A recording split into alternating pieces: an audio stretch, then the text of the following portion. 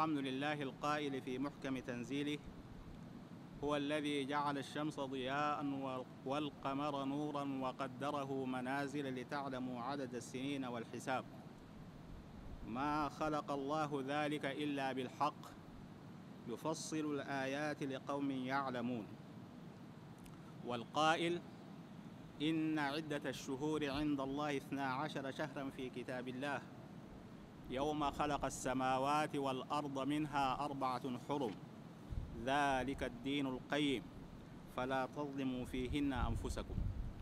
والصلاة والسلام على سيدنا محمد وعلى آله وأصحابه أجمعين. أما بعد استنادا على الأدلة التي تقدمت وانطلاقا منها أقول إن الله سبحانه وتعالى أمرنا أن نتعبده بصيام شهر رمضان. وإنما يعرف دخول شهر رمضان برؤية هلاله أو بإكمال شهر شعبان ثلاثين يوما. هذا وبعد أن اجتمع مجمع الفقه الإسلامي للنظر في إمكانية ثبوت شهر رمضان بواحدة من الطريقتين المذكورتين. توصل إلى الآتي.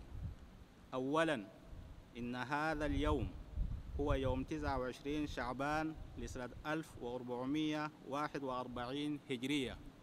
بدليل أن هذا الشهر قد بدأ يوم الخميس 26 3 2020 وأن الاقتران قد تم في تمام الساعة الرابعة والدقيقة 26 من صباح هذا اليوم.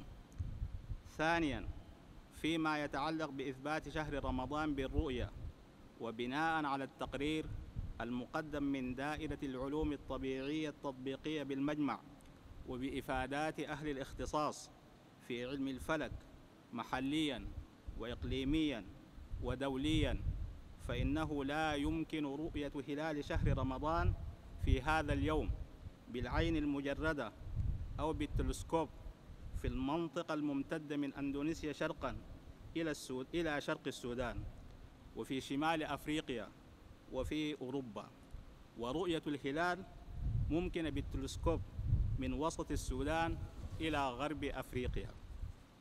هذا وبعد أن وزع المجمع خطابات التحري لجميع القضاة الشرعيين في السودان فإنه لم يرد إلى المجمع ما يفيد ثبوت شهر رمضان في السودان بناء على ما تقدم ومع أن أهل الفلك قد قالوا لا يمكن أن يرى الهلال في المنطقة الشرعية الشرقية من السودان وما بعدها فإن مجمع الفقه الإسلامي يرى أن يوم غد الجمعة هو اليوم المكمل لشهر شعبان وأن بعد يوم غد السبت هو أول يوم في شهر رمضان. نسأل الله سبحانه وتعالى أن يتقبل منا الصيام والقيام ويوفقنا على ذلك. إنه وليه والقادر عليه. والسلام عليكم ورحمة الله.